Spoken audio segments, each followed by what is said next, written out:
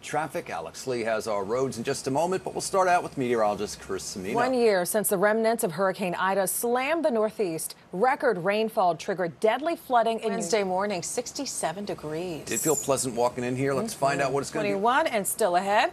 Good news here. Some new Girl Scout cookies set to hit the market next year. More on the brand new Tasty